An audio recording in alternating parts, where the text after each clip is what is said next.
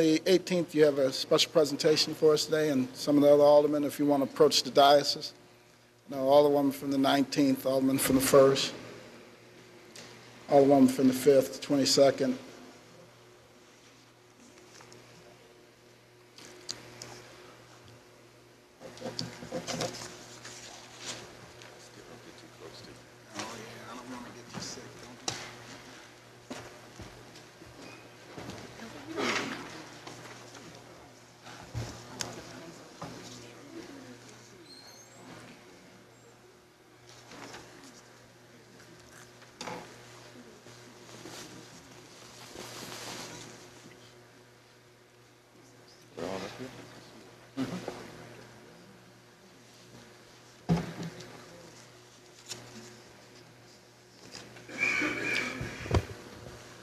Mr. President, members of the board, 2008 marks the 82nd anniversary of the celebration of Black History Month, founded by Dr. Carter G. Woodson back in 1926. Uh, Dr. Woodson himself was born in 1875 and was a part of the first generation of African Americans born here at that time period free from chattel slavery. Both his mother and father were held as slaves in the eastern part of the United States. But one thing Carter G. Woodson, Dr. Woodson said his father constantly pushed to him was one was to remember and understand history, and he taught him the very much importance of education.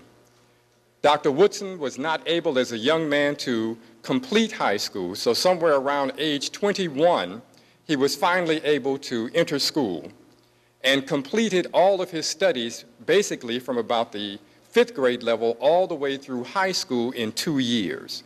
He was a phenomenal young man. From there, he began to teach. In those days, a high school education was almost tantamount to a bachelor's degree at, at a university today. So, with that high school diploma, he began to teach. He found himself later as the school superintendent of schools in the Philippines and then traveled in his studies throughout Europe and Asia. He ultimately got his master's degree from the University of Chicago, I believe, in 1900 or 1903, and then finally got his PhD in history from Harvard University in 1912. That is a far distance from where he began. The first son of two individuals is held as slaves in the United States. Now, that generation I had the opportunity to know personally. My grandmother, my grandfather was born as a part of that generation. My father's mother was born 1878, and my mother's father 1882. They were a phenomenal generation. They had in mind a purpose, and that purpose was to improve the condition of the plight of the, as they said, the Negroes in the United States. Carter G. Woodson noted in his studies, his thesis at, at Harvard University was the education of the Negro prior to 1861. Through his studies, he found several very important facts. One, that there was a seasoning process used for Africans brought from the continent to the United States. And that seasoning process was a attempt to completely stamp out the African identity in them and to supplant a new concept of this thing called the Negro. Carter G. Woodson, Dr. Woodson mentioned several things, that people are named by a landmass, they're named after a ancient ancestor of significance, they may be named after a language, or they may be named after a historical monument or a special landmark or continent. When you look on the map, you do not find, if you look on the globe, you do not find Negro land. And his point was, was that was a idea created to miseducate the African and create this individual called the Negro.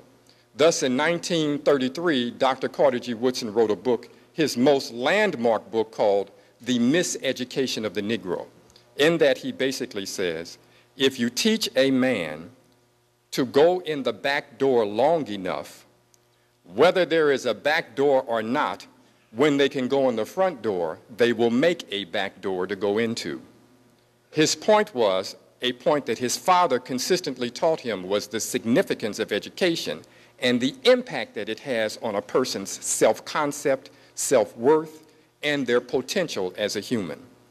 In 1915, he and others created an organization called the Association for the Study of Negro Life and History. That organization came up with the idea with Dr. Carter G. Woodson to have a Negro History Week. They came up with that idea in 1925. In 1926, they began, they launched the first Negro History Week that they founded and proclaimed it to be the second week of February because of two historic figures. Of course, Frederick Douglass, who was a famous abolitionist, African American abolitionist who was born the second week of February, and Lincoln, who many African Americans uh, felt had done some significant work in the ending of slavery, was also born the second week of February. So the association proclaimed the second week of February Negro History Week. And they had a grand celebration in Washington, D.C. They said it went so well that they established it as an ongoing celebration, and here we are, 82 years later, still celebrating. At this point, we call it Black History Month. During the consciousness movement of the 70s, the association changed it from the name of Negro History Week to Black History Week, and then later on to Black History Month. Carter G. Woodson says about the founding of it, and I wish my memory was good enough to quote it exactly because I would seem more intelligent than maybe I am but I will read exactly what he says about the reason for establishing it. His point was, was not to castigate anyone else or to raise, as he said, the Negro above anyone else, but to simply to put the truth out there. Because not having it, the information, not having the truth there hurts all human beings. And it causes us not to fully understand the potentials of humans that we could have. For example, here in this area, we have Lewis and Clark, they say, you know, who, who went on westward expansion, but so often they leave out the story of York, who was the African who was with them and interacted with the native people of this land and allowed them to go to the places that they went. We even have a statue now, a monument on the riverfront that lacks an image of York. To leave that kind of information out harms all humans and denies us the right to fully have an understanding of the human potential. So Dr. Carter G. Woodson says about the founding of, at that time, Negro History Week, he says that the celebration tends not to promote propaganda, but to counteract it by popularizing the truth. It is not interested so much in Negro history as it is history influenced by the Negro. For what the world needs not is a history of selected races or nations, but the history of the world void of national bias, race hate, and religious prejudice. There has been, therefore, no tendency in Negro History Week to eulogize the Negro nor to abuse his enemies. The aim has been to emphasize important facts in the belief that facts properly set forth will speak for themselves.